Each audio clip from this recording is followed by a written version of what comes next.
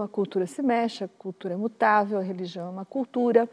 E, recentemente, surgiu essa expressão apropriação cultural, que define mais ou menos uh, o momento ou a prática de alguém pertencente a uma cultura tomar, emprestar elementos de outra cultura e emprestar, fazer isso indevidamente. Então, o famoso caso das tranças afro, por exemplo. Uma pessoa branca usar tranças afro é um caso classificado como apropriação cultural.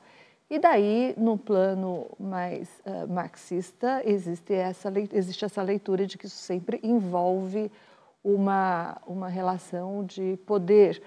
Uh, então, isso faz com que uh, isso, existe, isso acontece sempre de um grupo dominante em relação a um grupo dominado.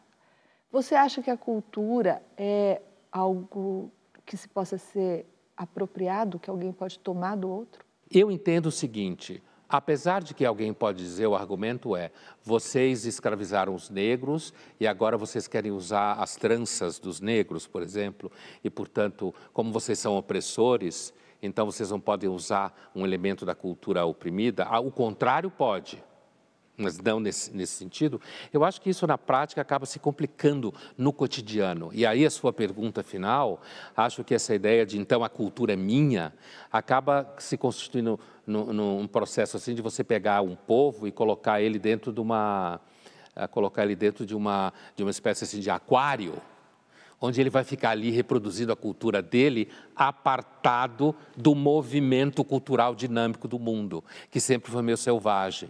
Esses, esses temas eles são insolúveis, mas eu tendo a acreditar que esse conceito de apropriação cultural ele funciona legal na mídia, no marketing, para a gente conseguir emprego, conteúdo audiovisual, para processar a gente. Porque eu fico imaginando, por exemplo, o candomblé é uma religião de matriz africana, com certeza.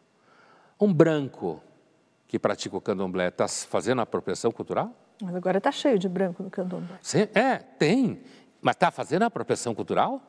Porque se veste com roupas uh, africanas e cultua orixás africanos. Como é que é isso? Então, acho que cultura é promíscua. A espécie humana é promíscua, ela se mistura.